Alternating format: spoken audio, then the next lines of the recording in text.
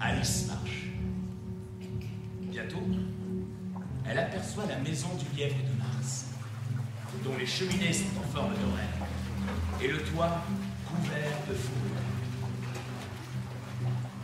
La maison avait l'air si grande qu'Alice grignota un petit morceau de champignon qu'elle tenait à la main gauche. Elle mesurait dans les 60 cm et se demandait ce qui allait encore lui arriver.